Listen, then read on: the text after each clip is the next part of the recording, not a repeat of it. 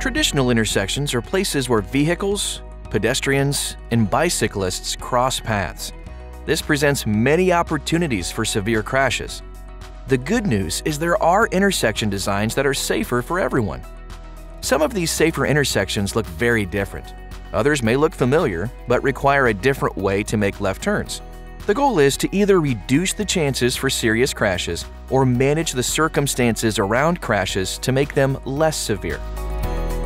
Whether an intersection crash is severe depends on three factors conflict points, vehicle speed, and collision angle.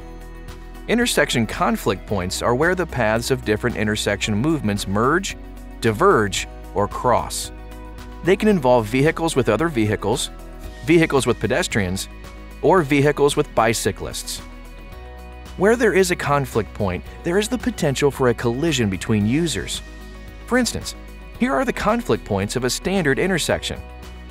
All conflict points have the potential for harm, but left turn conflicts are especially serious.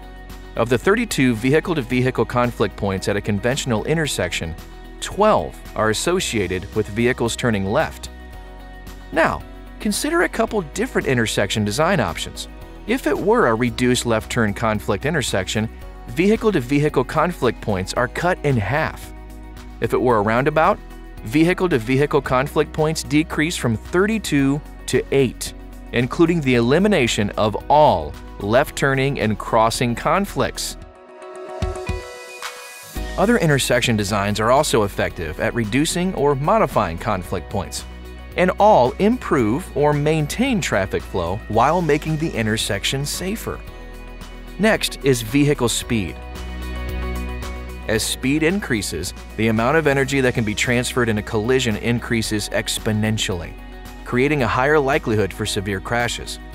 Intersection designs that effectively slow vehicles through conflict point areas are relatively safer.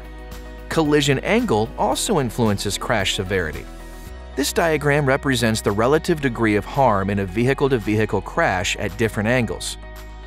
Traditional intersections present multiple opportunities for vehicles to collide at more dangerous angles, especially during left turns.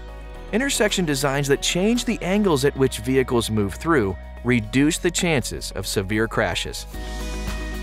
Equipped with knowledge about conflict points, vehicle speed and collision angle, roadway designers can devise fundamentally safer intersections for people driving, walking, and bicycling.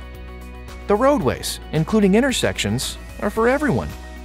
So, if you see a new or different intersection design in your area, you can know that your community just got safer.